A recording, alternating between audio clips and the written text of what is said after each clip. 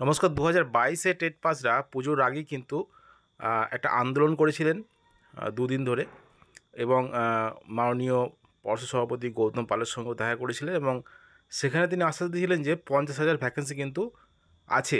প্রাথমিকের ক্ষেত্রে পঞ্চাশ হাজার শূন্যপদ কিন্তু দেওয়া যেতে পারে।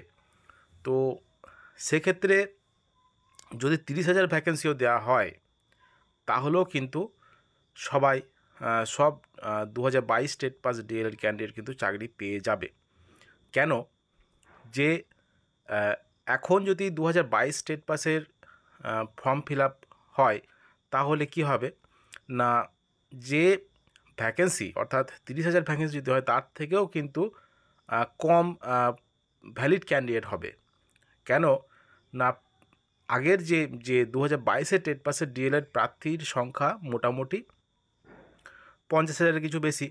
তো সেখান থেকে যদি এই চলতি নিয়োগ অর্থাৎ যে নিয়োগটা মানে মেড লিস্ট এখনও বেরোয়নি, বেরোবে দু হাজার বাইশের যে নিয়োগ, সেই নিয়োগটা হয়ে গেলে কিন্তু প্রায় এগারো হাজারের বেশি কিন্তু ক্যান্ডিডেট ওখান থেকে কমে যাবে, অর্থাৎ দু হাজার বাইশে টেট থেকে কমে যাবে। কেননা যা দু হাজার চোদ্দ দু হাজার সতেরো টেট পাস তারা কিন্তু ম্যাক্সিমামই দু হাজার বাইশে টেট পাসে পাস করেছে দু হাজার সতেরো এবং দু হাজার চোদ্দোর।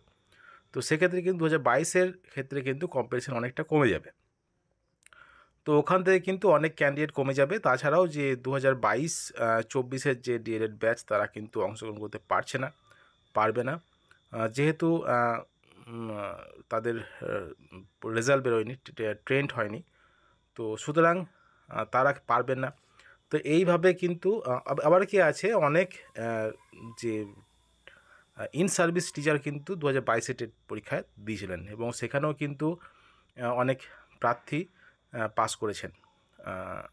দিয়েছিলেন, যে কেউ দিতে পারে। সুতরাং যে দু হাজার চোদ্দ টেট পাসের দুর্নীতি নিয়ে অনেক কিছু কথাবার্তা হচ্ছে সেই জন্য কিন্তু দু হাজার বাইশে টেট পাস কিন্তু তারা দিয়েছিলেন। টেট পাস করেছেন দু হাজার বাইশের টেট তারা দিয়েছিলেন। তো সেখানেও কিন্তু বেশ কয়েক হাজার কিন্তু ক্যান্ডিডেট বাদ যাবে, কারণ তারা ইন সার্ভিস তারা কিন্তু নিয়োগে অংশগ্রহণ করতে পারবে না। তো সেক্ষেত্রে প্রায় দেখতে দেখতে প্রায় তিরিশ হাজারের কম ভ্যালিড ক্যান্ডিডেট থাকছে দু হাজার বাইশে টেটে নিয়োগে অংশগ্রহণ করবে। তো সুতরাং দু হাজার বাইশের টেট থেকে যদি নিয়োগে নোটিফিকেশানে যদি তিরিশ হাজার ভ্যাকসিন দেয়, সেক্ষেত্রে কিন্তু সবারই চাকরি হয়ে যাওয়ার সম্ভাবনাটা কিন্তু বেশি। পর্ষদ সভাপতির কথা মতো। তো দেখা যাক যে এই নভেম্বর মাসেই কিন্তু বড় সম্ভাবনা আছে যে দু হাজার বাইশের দু হাজার বাইশে যে রিক্রুটমেন্ট প্রসেস সেটাকে কমপ্লিট করিয়ে তারপরে নতুন যে নিয়োগের নোটিফিকেশন সেটা বার করা দেখা যাক পর্ষদ সভাপতির কথা কতটা সত্যি হয়।